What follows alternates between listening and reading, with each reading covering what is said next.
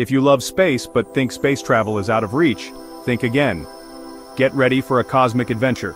Meet Starship, SpaceX's revolutionary spacecraft designed to make interplanetary travel a reality. So how does it work?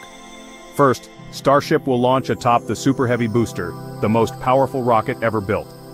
After reaching orbit, Starship separates and continues its journey. But here's where it gets exciting.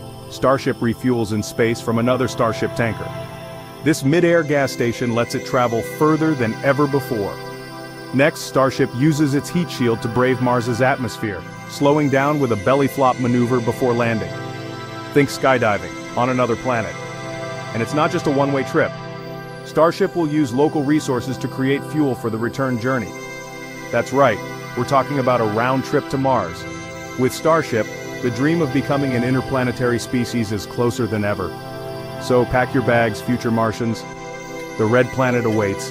Please like, share, and subscribe to the Unsolved Universe.